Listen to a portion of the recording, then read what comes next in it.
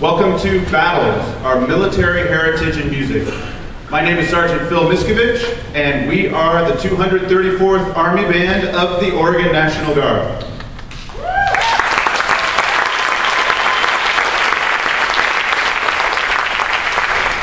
We begin our musical journey this evening in the year 1775 with the American Revolutionary War.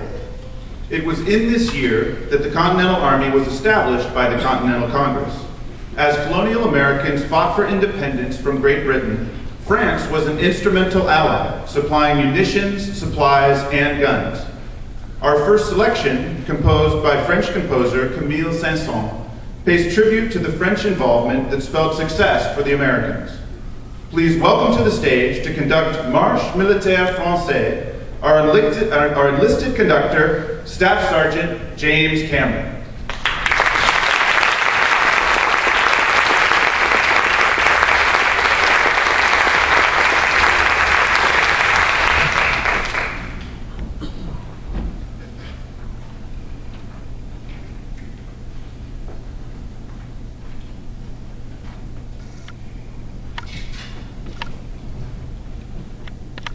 Thank